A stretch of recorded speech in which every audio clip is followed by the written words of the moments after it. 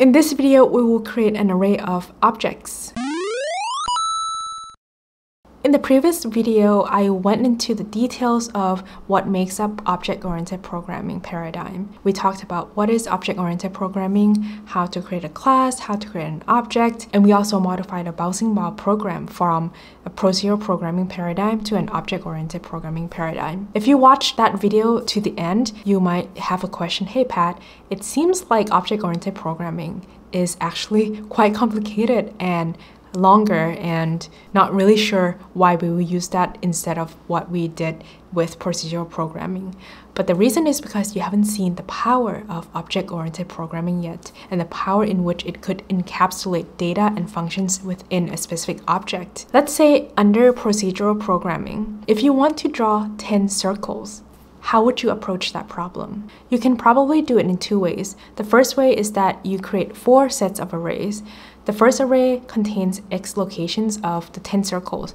The second array contains y location. The third array contains dx information, which is the direction and speed in the horizontal axis. And then the fourth array contains the dy information, which is the speed and direction of the vertical axis. And then how you would access those information is by referencing the index location of that piece of information. But this way is a little bit problematic because what if by accident you change the size of the array and then now the index location doesn't match? You might be accessing information inaccurately. Alternatively, what you can do is that hey, what about I create 10 arrays that contains information specific to that circle, x, y, dx, dy. And this is not the most efficient way for two reasons. First, you need to create 10 arrays for 10 circles.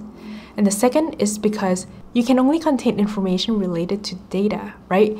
x, y, and dx, dy which is what? Which is similar to how you would want to store data within an object anyway. But under object-oriented programming, what you can do is that you can not only store those data, but you can store functionalities specific to that object. And instead of having to create 10 arrays, you can create just one array with 10 objects. So this example that we have created before, we only have one circle that bounces around. So first, what I'm to do is that I'm to create an array. An array is to be called balls, and I'm going to comment out all of these first. Next, what I want to do is that I want to create 10 new objects inside my array balls, and I can do that using a for loop. 10 objects, right? So we have conditions that say i less than 10, and then we just populate the object by doing this. And instead of just hard coding the number 200 comma 200 I am going to give it a random starting location. Random between 0 and width. And random between 0 and height. So now the initial location of 10 of the balls are going to be randomly spaced out between the width and the height of my canvas. And then I'm going to delete this. Now for calling functions, what I need to do is that I need to create another for loop.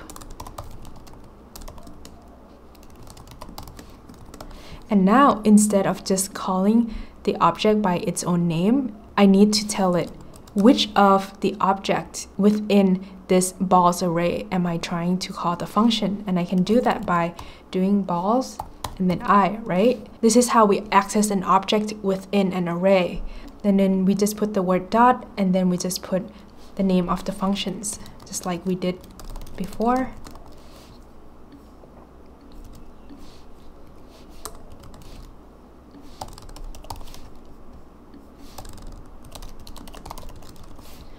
And now I'm going to delete this.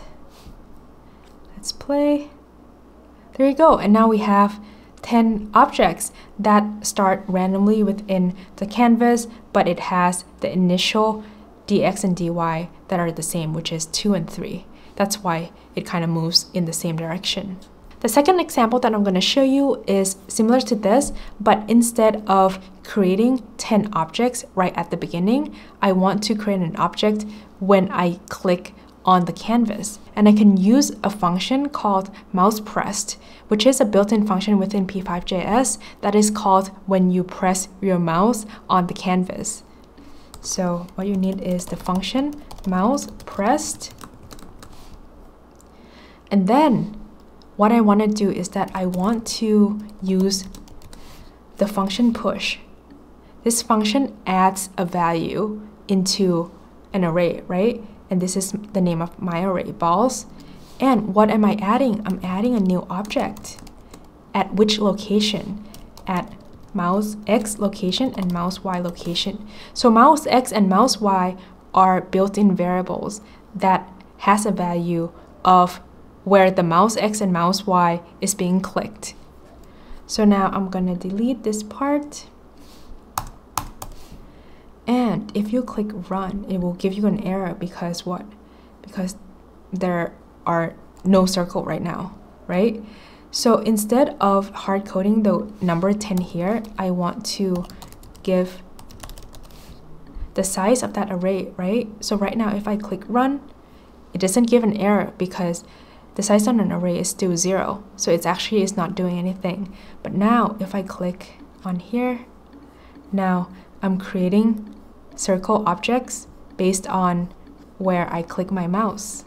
So this is yet another advantage of using object-oriented programming, where you can create multiple objects within your program where each of the object has its own data and functionality encapsulated within its own object.